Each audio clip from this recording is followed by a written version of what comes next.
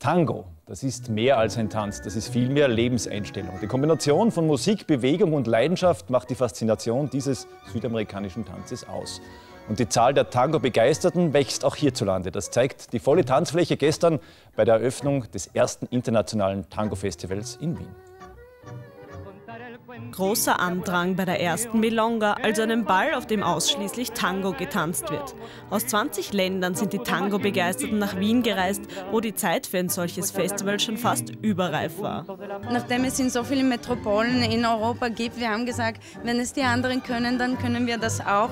Und zwar mit sehr viel Wiener Charme. Und das passt auch sehr gut zu Wien, weil Wien ist die Stadt der Musik, Wien ist die Stadt der Bälle und der Tänze. Und nur Tango hat eben gefällt. Die Wiener Szene ist in den letzten Jahren beständig gewachsen. Wer einmal mit dem Tango-Tanzen angefangen hat, der kann nicht mehr damit aufhören.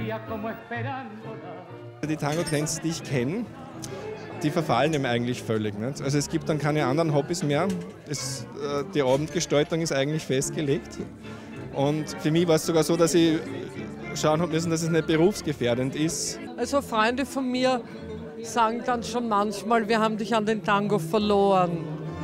Entstanden ist der Tango, der auch als getanzter trauriger Gedanke bezeichnet wird, im 19. Jahrhundert in Argentinien. Von Buenos Aires aus eroberte der Tango Argentino die ganze Welt.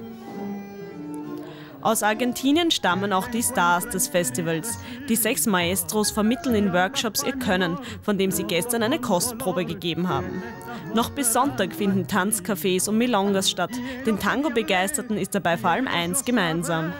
Die Liebe zum Tango ist, glaube ich, die einzige Gemeinsamkeit, die Liebe zur Bewegung, weil sonst haben wir Leute aus allen Sparten, aus allen Klassen, aus vielen Ländern, hier trifft sich einfach alles.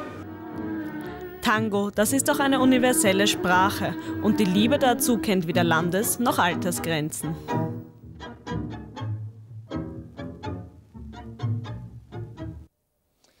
Männer dürfen gratis,